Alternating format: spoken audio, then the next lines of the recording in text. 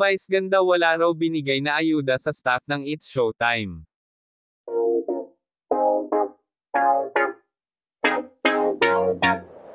Wala umanong ibinigay na tulong si Vice Ganda sa staff ng It's Showtime matapos masuspend ng labindalawang araw ang programa, ayon sa source ni Christy Furman.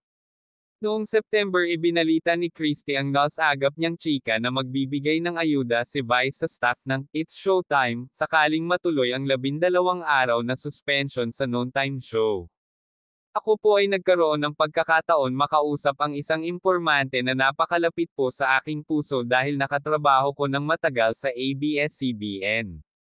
Ang sabi niya dahil staff siya ngayon ng Showtime, sa isang pag-uusap ay binigyan daw po sila ng assurance, ng pangako ni Vice Ganda na kung sakali raw po na magkakatuloy-tuloy itong suspension ng labindalawang araw ng MTRCB, tutulungan niya ang staff, say ni Christie sa Showbiz Now na. Sa bagong episode ng YouTube show nitong October 17, sinabi ni Christy na may nakausap siyang mula sa It's Showtime na wala umanong ibinigay na anumang tulong si Vice.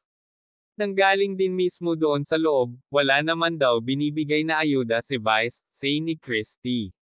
Sila din mismo ngayon, staff, ang nagko-question kung bakit sabi magbibigay, Whaley naman pala, dagdag niya.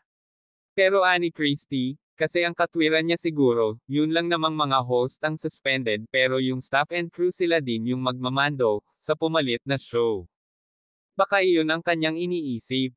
Bakit pa nga naman siya magbibigay eh sila nga naman ang nawala ng trabaho pero ang staff and crew tuloy pa rin.